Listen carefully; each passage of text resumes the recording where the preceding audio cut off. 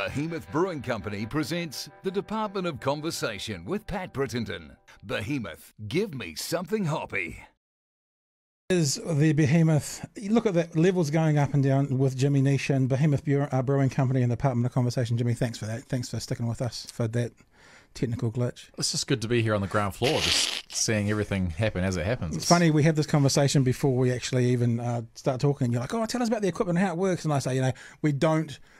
Stop live streaming ever unless there's a monumental balls up. And what happens right now, there's a monumental balls up, and the audio decides not to work. But it's working. I can see it working. I can see the levels going up and down. I can see your beautiful blue steel, and we are rocking and rolling. Thanks for joining us. I appreciate it. No, pleasure. Pleasure to see the inner workings. Dude, let me say to start with last night, amazing game. So much fun to watch. Um, yeah, your thoughts at the end of the game. Um, oh, look, it's obviously always extremely pleasing first game of a series to come out and have a strong uh, showing in the first game. Um, the Aussies are obviously one of our, our massive rivals in world cricket, so for them to come over, obviously in these times and, and do their two weeks quarantine and, and come out and get into the series is, is good for cricket globally and good for New Zealand cricket. And um, we're looking forward to a competitive rest of the series. Hopefully, more wins for us, but um, we're sure that they'll come back um, stronger after that defeat in the first game. You guys must have been pretty stoked though, because on the uh, on the T20 um, at the moment, like the countdown, I mean, New Zealand number one uh, Test, woohoo! About number three in ODIs, I think, behind India and another team, but about number six in T20 in the rankings, and I think Australia number three. So it must feel good to look at a a team like that who is uh, who the numbers are saying are ranked up more higher at the moment. And it's not just a win; that was a that was an assault last night. That was an, a demolition. It was amazing. Yeah, I I think we're. I don't think I'm out of line saying we're probably in the strongest era of New Zealand cricket in history at the moment. As you said, the rankings are, are right up there. T20 cricket is such a hit and miss game sometimes, and and I think we've especially used T20 cricket as a I suppose a format to blood a few younger guys and give a few younger guys chances when guys like Trent and Tim and Kane have rests at the end of long summers. So um, potentially that lower ranking is, is indicative of that a little bit, but um, certainly now with a, a T20 World Cup coming up um, at the end of this year, uh, it's a lot more about um, trying to find our best team and give our strongest 11 the, the opportunities possible. And, and the goal then is, is to win as many games as possible. Do you personally enjoy one form over the other? Like, do you have a, a favourite Test, one day, a uh, T20? Um, I was actually talking about this with Brendon McCullum this morning. Actually, it's sort of a bit like eating. You know, you you don't want to have fast food all the time, and Right. you also don't feel like having steak. You know, for every dinner either. So I, I find that. Um, a balance is best. Obviously, we've got a lot of T20 cricket currently due to the, the World T20 coming up at the end of the year, so that's going to be our focus um, over the next little while. But now I certainly love love all the formats. I'm not playing Test cricket at the moment for New Zealand, which is um, not ideal. But yeah, hopefully I'll be able to uh, fight my way back in in the future. Are you becoming because this is your the, the thing that's interesting to talk to someone about you like those of us who have been sort of hackers and played cricket when we're younger and that kind of stuff and had fun or whatever sport are that but this is also your profession it's your job in that and and for your job um, do you think I, so I'm thinking about other jobs. Like if you were uh, like my background is radio announcer, you know there are some people who will always be the afternoon guys or the evening guys. There's only a few who will ever be the breakfast guys, sort of thing. Is, is there a point in a, in, in a cricketer's career, maybe in your career, where you kind of go, Test cricket is now not the focus, but the shorter format stuff is? I mean, have you yourself reached that point, or are you still open and hopefully looking forward to playing all of it as much as possible? Um, well, I think it's an individual basis, isn't it? I think um, for me, uh, I think my main motivation for playing Test cricket again is that I don't think I was a very complete player when I played the first time. I think I came in when I was in my early twenties. I think I was twenty four or something, and um, played a lot of my Test cricket when I was young and naive and didn't really know what I was doing. And um, I feel like I've been judged off that performance for the rest of my career, even though I'm a different player now. So um, I'd love to have another chance to to have another go at Test cricket as I suppose, I mean, not the finished product because no one's ever the finished product as a cricketer, but as a more complete player. Um, and if that, if I get that opportunity, um, that'd be great. But as you said, at the same time, um, I want to play for New Zealand as much as possible. I mean, at the current place where my game is, that's in white ball cricket. Um, I'm not the youngest in the group at 30, so um, that decision is probably around the corner. But Um, at the moment, I'm just trying to play as many games as I can for New Zealand. Um, played my hundredth game yesterday, actually. Oh, yesterday, congratulations. uh, for New Amazing. Zealand. So, um, yeah, another hundred would be nice. Uh, whether that's uh, T20s, one days, or tests, um, you know, that's that's to be seen. T20 seems to have also given the opportunity for um, giving some longevity to career. When you think about people like Chris Gayle, even Shane Warne came back and kind of played some T20 for a while. and Maybe even Brendon Brendon is one of those guys. That shorter game, not so hard on the body, perhaps, I guess, four overs rather than 10 or rather than 60 if you're playing in a test match. Um, so that does mean, I mean, what, another 100 is completely feasible for the age you're at or any 30 year old professional to, to get through. Yeah, well, 40 is not an outlandish thought Yeah. anymore in professional cricket. I think um, the one that really hurts the body is backing up day after day, which is obviously Test cricket, four day cricket. Um, whereas T20 tournaments, even one day tournaments, you generally always have a, a day between games at least. And um, that gives the, the more experienced players enough time to recover and get their bodies right again. And um, yeah, I mean, you see guys like Chris Gayle, as you mentioned, Shane Watson played really old, Imran Tahir here, still going at 42 or 43 or something. So yeah, for me, um, the rigors of international cricket, I, I'm not sure you can go much past your kind of mid to late 30s, but. Right. But yeah, the, the the franchise cricket around the world, the T20 cricket, yeah, I see no reason not to go into your early 40s if, of course, if you're still performing and, and more importantly, still enjoying it. as someone who's a professional athlete, now I'm not interested, obviously, getting into your personal business to do with finances, but as as professional athlete, is it the kind of thing that you could have an injury tomorrow that could end your career, that could end your income? Is that is that like a? um, I don't mean a reality like it's going to happen, but forget you. I'm talking about a professional athlete. Is that something that's actively could happen, or do the contracts tend to put you up for two or three years, no matter what happens to your to your body, sort of thing? No, no, contracts are one year contracts, pretty much around the world. Yeah. Um, IPL, uh, your contract isn't even worth anything if you get injured.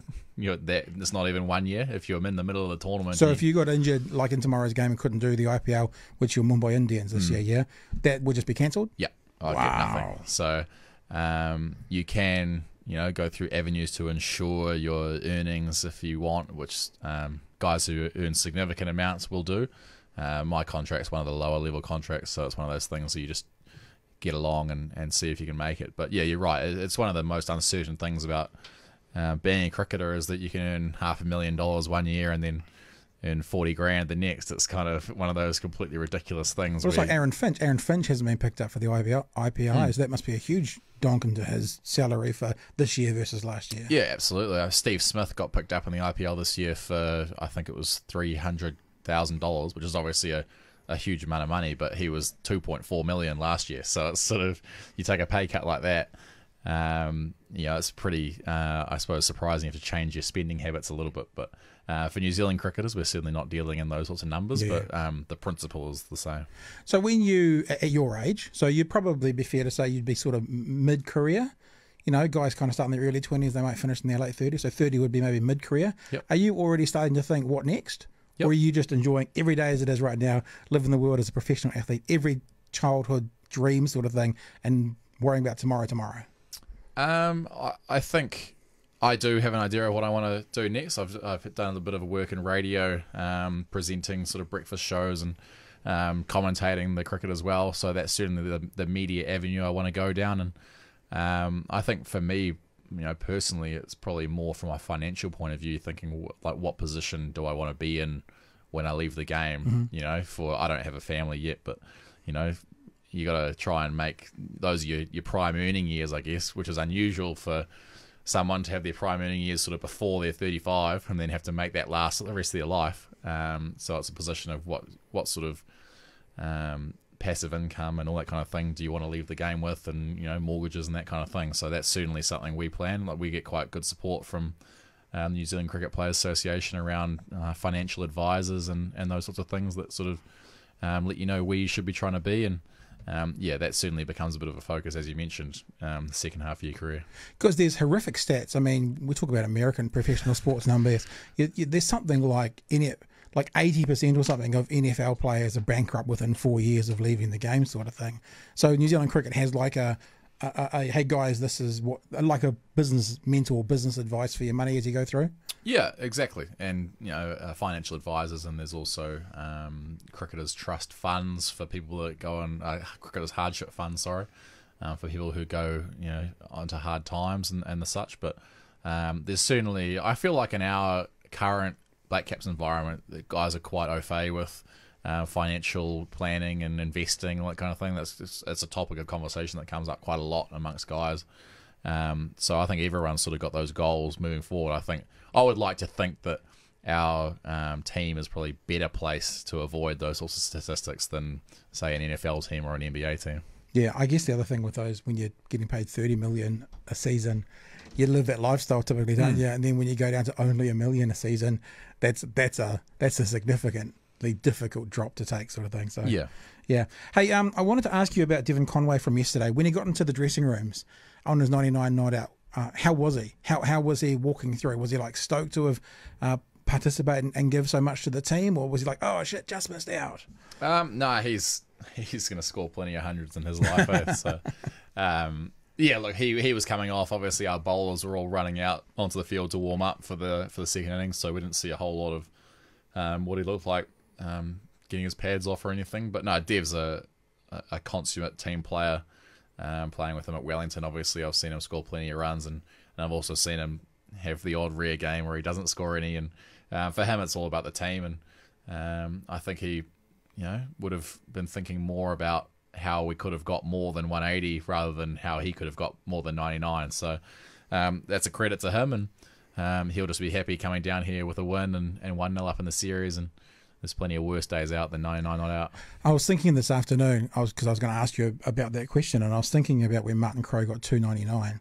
I actually remember I was watching that Test match when he when he got it, and I remember he walked, but he got out on two ninety nine, so it's a bit different. It wasn't the last ball, but walking down the stadium, walking into the stadium, and just throwing his bat into his room is like obviously just annoyed with himself that he couldn't be the first to make that make that um, transition to a triple, you know, century.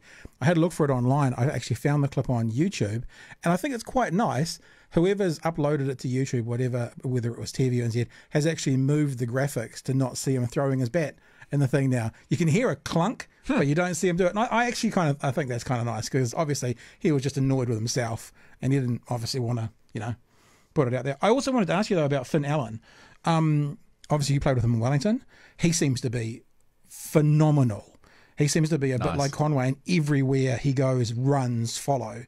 I I know I don't want to ask you about selection process; it's not your gig, but it will be exciting when we see him in a black cap shirt, whether that's in a couple of days, couple of weeks, couple of months, whatever it's going to be. Yeah, uh, he's he's new. That's the thing. It's kind of uh, he's only I think twenty or maybe even just turned twenty one. But um, it, it's one of those things. He's come in. He actually had a really rough start to the season for Wellington in four day cricket. Um, you know, didn't score many runs, had a concussion, um, had a bit of a, a couple of setbacks, and then to come out in the the T Twenties and and bat the way he's batted has been phenomenal. And um, yeah, whether you know he should have been picked in the team or whatever, you know, it's not my place to say. Yeah, but n- not a conversation I'll have with you. um, yeah, he'll get a chance at some point. You know, it's inevitable. I mean, with the, I think it's a 20 man squad that goes to the T20 World Cup. I've got no doubt that he'll be given a chance at some point to show what he's got. And I think it's important to recognise for a player like that that if he does come up and get a chance for the Black Caps and doesn't go well, it actually doesn't mean he's not a good player. You know, he could easily go back to domestic cricket and figure things out and then come up again. Well, you just got. I Um, always think about Jonah Lomu. You know, he got he got put on the wing at eighteen by the and got kind of turned around by the French Like Didn't really do very much, and then came back to be, you know, one of the greatest, most famous wingers rugby's ever seen. So And that uh, that's the story for a lot of. Uh, I think Brendon McCullum was thrown to the wolves against Australia when he first started and didn't go very well and got dropped. I mean, I got thrown to the South Africans in South Africa and didn't go well and got dropped. You know, it's sort of it's almost a rite of passage as a as an international sportsman where no one's the finished product coming through and. Um, he'll have areas of his game that he has weaknesses in, and they'll be found out, and, and that's sort of part of the process. It's a question of well, that's a part of the back. part of what I was going to ask you as well. It seems that sometimes when a a new and exciting player comes on, be they a bowler or a batter, because then those weaknesses aren't quite known yet. Hmm. That maybe they have a one or two spectacular seasons, and then the, if they're a batsman, the bowlers have worked them out a bit. If they're a bowler, the batsmen have worked them out a bit, and And uh, like, uh, I, I think Shane Bond was obviously an unbelievable talent and one of the, if not the best fast fast bowler we've ever had, one of the top up there. But he seemed to have that as well. You come in and you and you and you hit the ground running, and it takes a while to work you out. Which I think also just goes to show the, the quality of um, Southey and Boult at the moment because they seem Southey in particular, and I'm, I don't want to. I'm not an expert in this, but it seems that he had a bit of a lean patch for a while. But now, especially watching last night, they are the preeminent world swing bowlers, especially opening, and given the right conditions, no one can touch them. Hmm. And, and their longevity seems that the batsmen haven't worked them out. Yeah, So they seem to be the opposite, which must go to what makes a great player. yeah, and and Tim got dropped. You know, Yeah. it's sort of. I think Trent. I'm not sure if Trent ever got dropped, but there was certainly a period where there were question marks around him, around white ball cricket, especially. You know, he's playing Test cricket and going well, but potentially haven't quite figured out the one day game. So every player has their challenges as they come through, especially when they're that young.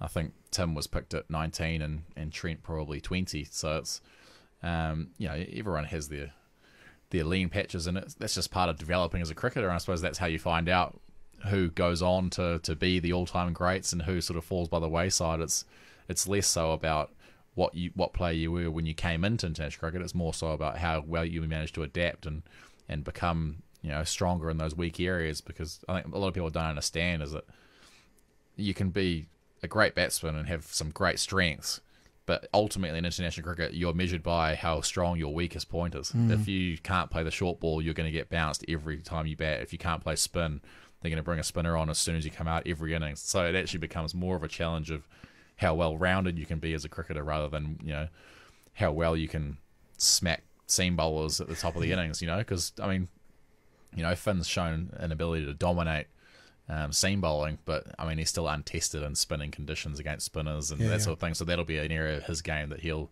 have to prove that he's competent at before he can sort of make that next step. As someone who's actively just said you're not part of the test team at the moment, I guess you are an insider, but you're also an outsider because you weren't involved in the last test series.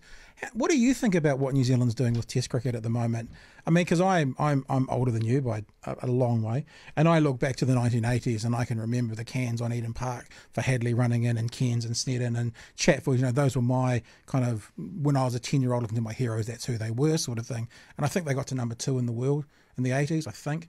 Um, now number one in the world. How do you how do you look at it as someone who who is inside but also isn't actively playing the test game as to what that Black Caps team has done and are doing? Oh, I think it's phenomenal. I think uh, when you look back to um, when Brendon McCullum took over as captain, I think it was 2014, um, bowled out for, for 40 or something in Cape Town and, and basically embarrassed on that tour. And um, that was sort of a bit of a low point. And um, to have a, I suppose, a clean out and, and a real change of philosophy and, and change of personnel after that, and then six, seven years later to the number one test team in the world, it's actually unbelievable if you think about it. And um, we've gone from, you know, struggling to, to put away teams like Bangladesh and West Indies in those sorts of conditions to to basically being hot favourites every time there's a test on New Zealand soil, no matter who it's against. You know, putting India away two 0 and um, competing against some really strong sides. It's it's phenomenal when you think about it, and um, yeah, to be a, a an observer, but also yeah, part of it. It's quite a strange position to be in, but um, I suppose it all comes to a head in, in a couple of months and the World Test Championship final, and um, we still don't know who that'll be against. Um, hopefully, I'll be there, big squad for that tour, so I'm a chance of being involved. But um, yeah, it'll be really, I suppose, a culmination of all that hard work over a, a very, very long time. Do you personally have any objectives or targets that you want to achieve, like as a team? a a target to be the number one test playing team in the world. Tick that box. You know, I was just thinking about Trent Boult. I think there's an ANZ advert where he says, you know, I want to be New Zealand's um, highest wicket taker, sort of thing. He's got a, a, a- an objective there. Do you have anything for you that you want to achieve in the game that's tangible? Um, I don't personally. I think as a as an all rounder, um, you, you need to be as adaptable as possible to the situation. And um, for example, last night on the T Twenty coming out with Dev and having to try and generate a strike rate early and try and keep the momentum of the innings. I feel like if I was thinking I need, I want to score a certain number of runs in my career, I feel like that goal would actually be detrimental to what is Right. required for the team at that point. Right. So for me, it's just about winning games of cricket. If I can um, go out, make a contribution, even if it's 14 off six, you know, as a as a number six, and walk off, and then we get an above par score and end up winning. Like I feel like that's a significant contribution I've made to the team, and and guys, the guys at the top of the order like Dev and Seifert are always going to be the guys who have the opportunity to score the most runs, simply from the fact that they get the opportunity to face the most ball. Sure. Um, but that contribution, uh, uh, you know, sometimes coming on to bowl in the sixth over when a team's charging and managing to only go for nine is actually a really significant contribution in the game. Whereas Mm-hmm. it doesn't show up on the on the score sheet or it doesn't count as a wicket. So I think that's what I try and focus on as an all rounder is, is looking at the end of the day and going, did I make the moves that I could today to try and shift the needle as far as our win chance slightly towards the positive? And if I did that, then I consider that a success. And whether you get the game changer award or the any of that kind of crap, or people talk about you in the paper the next day is irrelevant because internally in the group, you know that you were doing something positive for the team. And he took a screamer of a catch, so that's up there as well. That was a great Yeah. catch last night. And I, I know that, and, and you wouldn't have heard this because I was obviously watching the commentary. You know, the guys were talking about Martin Guptill on the commentary yesterday. He didn't have he didn't have a good game yesterday batting, but they're like he will every game he'll save you ten runs. Hmm. He'll change the way that happens. He'll contribute on the field because he's such a phenomenal fielder as well. So I get what you are what you're saying. Yeah, and that's a perfect example is even during the World Cup a couple of years ago or last year, three years ago, whatever it was. Um, Have you wiped that from the memory? The World yeah, Cup I, I'm trying. It's it's proving more difficult than I initially thought. Um, he didn't have a very good tournament, yet he was one of the reasons we are in the final because he ran MS Dhoni out in the semi final and won the game for us. You know, it's those little moments Yeah. where those are the hours of practice that you put in for the group, and no one will. I'm sure he'll be happy for me saying this. No one will look back at the World Cup and go, Martin Guptill was important to New Zealand's success in that tournament. But as a group, we know he was because every team, every game in the field, he was saving runs and significant run outs, catches, that sort of thing, which is sometimes not one of the things people talk about after the game because other guys are scoring runs and taking wickets or whatever, but still important to the to the group. Um, I wanted to ask you about the game yesterday because it was on quite a significant anniversary, obviously, 22nd, 10 year anniversary of the quake. And uh, Hagley Park was one of the first anchor, I think it was the first anchor thing that they did in Christchurch to bring back some normality to life. You know, meaning uh, we'll give you back your sport, sport being so massive to Cantabrians and that massive day. What was the feeling like amongst the players and, and in the and in the in the in the stadium? Because there must have been a I mean, yeah, there was a moment of silence, but was it obvious that this was a different feel to it this game, or was it just sport as usual? It's my job, put my job hat on, do game. Um, uh, it's a bit of a mixture, to be honest. Um, obviously, the moment silence, national anthems, all that kind of thing, sort of adds to the sense of occasion. Um, Kane and, and Aaron went down to the to the memorial service um, during the day and, and laid flowers and, and sort of thing. So it was certainly in the back of our minds. But yeah, as you say, it's it's you're doing your job. You know, we we actually um, unusually didn't have any Cantabrians in the squad um, for the game yesterday, so there Oh, was no one who was actually there. You know, in Canterbury at the time, so um, we felt a, we were a little bit detached from that perspective. But um, no, certainly you want to you know anytime you play in front of the Canterbury crowd, they're such parochial supporters of sport that you want to sort of do them proud because they Yeah. really get in behind you and they give the other team stick and you know chant and Mexican waves and all that sort of thing. So you sort of do feel like you should reward them with a good performance. Um, so I wanted to ask you as well. I, I saw some footage of you yesterday when you were talking to, uh, uh, I think Tim Seifert in the Slips. You guys were having a chat away, and I wondered for myself. I would have brought up the video, but I, I haven't got, I haven't got, I haven't got the place saved exactly where it was. When you're in the Slips and you're having that conversation, what are the conversations? Is it purely cricket, or is it anything but cricket? Uh, oh, a bit of a mixture. Um, yeah, I, I think uh, Tim Seifert was on the mic uh, last night. Yeah, up right. the commentators. So I think we were talking about how he was seen to be overly focused on the weather to, uh, of the day rather than what was actually going on in the game. So we were, you know, calling him Jim Hickey and all this sort of thing in the corner, and didn't know Jim Hickey was taking the gloves to the Black Caps tonight, and that sort of thing. So uh, it's often uh, just sort of banter like that, and then sometimes you sort of think about what you think is about to happen, what what shots you think guys are going to play, or the field, or whatever. Because um, even though Kane is the captain, he does often sort of ask of some of the, uh, I suppose, more experienced guys what they think around bowling changes and that sort of thing. So Right. it always pays to be uh, having one eye on the game and what you think should be happening. Is it? I mean, it must be more difficult during a test match. And I mean, you, you have played test matches. Do you do you wander? I mean, if you're out in the field for two days, it must be hard just to stay focused all the time. I imagine a T20 game, you'd you'd blink and you'd miss it. You know, like it would be all of a sudden you're at the 13th over and where did that game go? But Hmm. the, the the do you do you wander in a test match if you're fielding? Yeah, definitely. And I think that's probably part of the skill of it is actually letting your mind wander at times when it's not needed and and then sort of coming back in and switching back on because I mean nobody can concentrate for, for eight hours on the on the bounce. So um, it is about we call it switching on, switching off. Um, I've in the past had trouble with the, the switching back on part of that equation, but I think that's one of the things all young guys go through when they come in. So um, yeah, that's just one of those things you need to you, you sort of loosely stay keyed into what's going on, but then you do let your mind wander into the crowd or, or whatever's going on. Now, someone told me as well that you have a nut allergy. Is that right? Is it like a full serious nut allergy, like a EpiPen if you get the wrong thing kind of deal? That was an interesting segue. Uh, no, no, just uh, illness. Not well, not death. No. just sort of sickness. Yeah, so um, I don't need like a nut-free kitchen or anything like that. Um, just, I know. I know someone that if the uh, if there's a jar of peanut butter open, they can't go into the room. So yeah, it's no, pretty full I'm, on. I'm not that um, over the top. I tell you what, there's a series of questions coming out now, and you say interesting segue, but I'm just kind of going. It's it's. I've got a professional cricket player sitting in front of me. These are the questions I've always sort of wanted to ask a professional cricket player.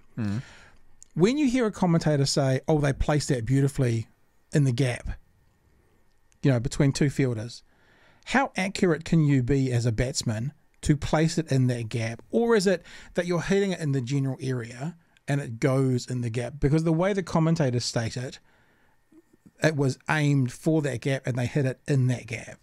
Um, so for me, fields are generally the same. Yep. You know, if I face an off spinner, I'll have long on and long off both out, guy on the sweep, guy at deep cover, two backward points, a cover and a mid wicket.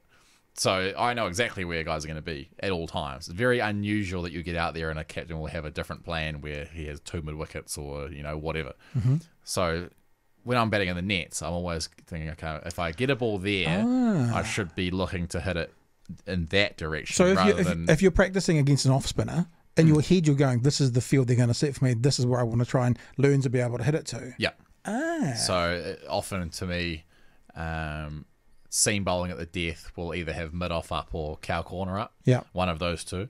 So when you're training, you're looking to either go give yourself room and go over long off, or get inside it and go over mid wicket. And you always know at training if you hit it too straight or too square, there's going to be fielders there, so it's a bit of a risk. So it's sort of that whole honing of your technique of knowing where guys are going to be and always thinking, is that in the gap? No, I need to be square, you know, whatever. And, and it becomes a, I suppose, a challenge of that's where the pitch and conditions come into play because sometimes, and you might be facing an off spinner and you know there's going to be a gap at mid wicket, but the, the nature of the pitch is turning and bouncing, so that becomes a really difficult area to hit. So they're trying to get you to hit there and you're trying to avoid hitting there. So it becomes a bit of a game in and of itself. And um, yeah, it's certainly one of the things about being adaptable. And, and I think that's when you come into your scouting and we always talk about what sort of slow balls different guys have and, and all that sort of thing.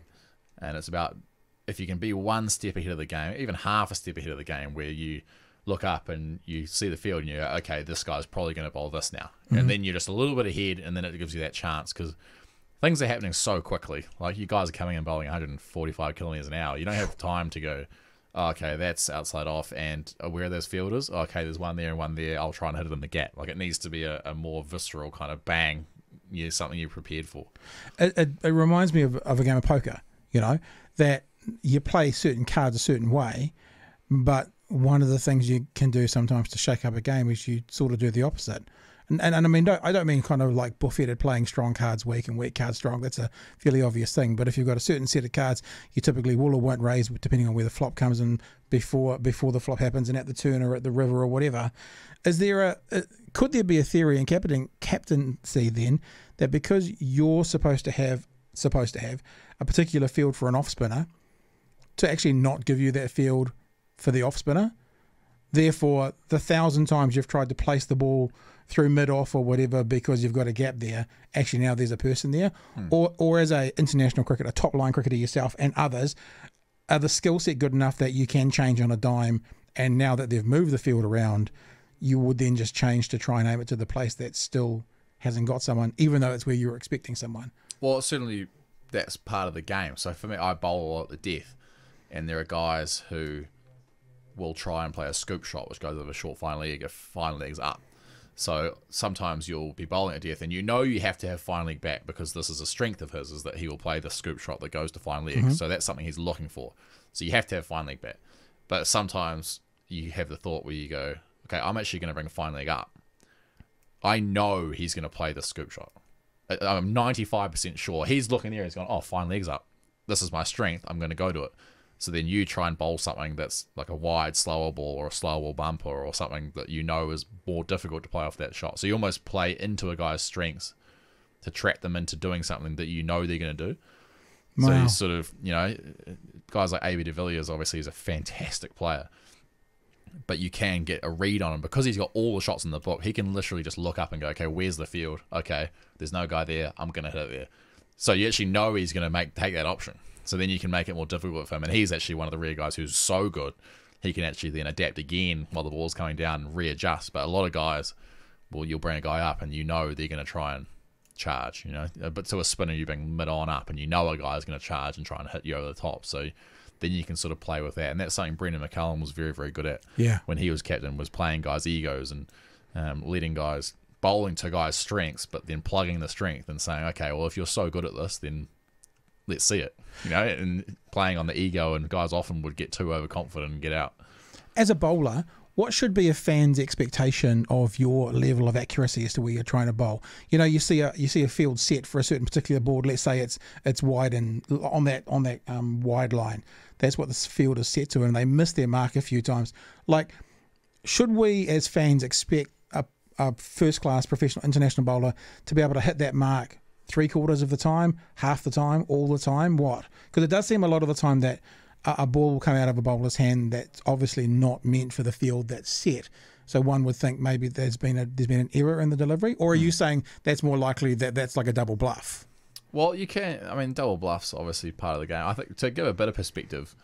So if we're doing Yorker training mm-hmm. and we're bowling at a cone, if you're hitting that cone two times out of six, that's a pretty good effort. Wow. Okay. So it's, it, I mean, when people go, "Oh, why don't they bowl more Yorkers?" Yeah. Yeah. it's actually hard. Yeah. like the thing's 22 yards away. You're running in at full pace, letting a ball go above your head with a straight arm to Yeah. get it to land on a thing this big. And the reality is, with the way batsmen hit the ball these days, is that is your target. If you miss by more than that, it's probably going out of the ground. Well, actually, stop. Sorry to interrupt you, but I think I've heard Brendon McCullum say that if the ball landed in like a square about this big, he'd defend it. Anything else, he tried to put over the boundary. Hmm. So exactly. so, and that's the margin we're talking about. So, and that's what the thing. I'm going to go a little bit off topic here. Sure. The thing that annoys me so much about when commentators go, "Why aren't they bowling Yorkers? Why aren't they bowling Yorkers?" Is that the Yorker is a, a self fulfilling kind of thing where if you bowl a ball that doesn't get scored off, hmm. People think it's a Yorker. If you bowl a ball that gets hit for six, people go, "That's not a Yorker." Oh, like it was a that was a good length to get the bat under. Exactly. Yeah. So if I try and bowl a Yorker Yeah. and I miss short by two feet, but the batsman charges and it's a Yorker, Yeah, right. they go, great Yorker. So the so the you know? the, the batsman has an amount of uh, power as to what the Hmm. ball is defined because if they're deep in their crease, well, they charge. Yeah, exactly. And if I bowl a perfect Yorker and a guy gets down on one knee and slogs a six over a square leg, everyone goes, it's a full toss. Yeah, right. Even though it was going to be A a, low full perfect, toss. yeah. Even though it was going to be a perfect Yorker if Yeah, the guy yeah, had stood still. So then you get all these things at the end of games where people go, "Oh, New Zealand only bowled 14 Yorkers, and the opposition only scored 12 runs off them." Right. Whereas everything else, the opposition struck at 180, and it's like, well, that's actually not correct. But they only scored 12 runs off 14 balls you coded as a Yorker. There were actually another seven balls that were Yorkers that all went for six, but you said they were either full tosses or half volleys based Right. on where the batsman moved to. So, and obviously, when you release the ball, you don't know where the batsman's going to be when the ball gets there. You know, they'll be moving, they'll be might be scooping you or charging or whatever. So, the case of oh, Yorker tick, it's actually that's not the reality. The the it's an attempted Yorker, and then depending on where the batsman ends up, Yep. it ends up looking good or looking terrible. So that that's just one little nitpick I have around No, that's a, cricket we, punditry. we like a nitpick. Hmm. Okay, here's something that I've asked a few All Blacks and ex All Blacks that have come in. I'd like to ask you the same sort of thing. Uh, who do you think is? And it's a it's a it's a bit more of a peculiar question, I think, to a cricketer than a rugby player because every rugby player on the field has somewhat a similar skill set. They do a similar thing, but the the the line of demarcation between batting and bowling can be quite dramatic. But if I was to say to you, the greatest player you think there's ever been, and then I was to say to you, the greatest player you have played with or against, do any names come to mind? Jacques Kallis is the greatest player that's ever been. Wow. Because he had it all, because he had the batting and the bowling as well. He had Sachin Tendulkar's batting record and then took 300 wickets as well.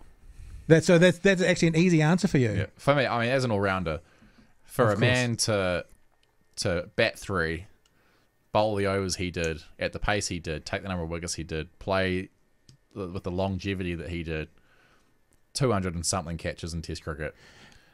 Uh, how many thousand? Must more than ten thousand runs, I would think. And you guys would have crossed over. Did you ever play against them?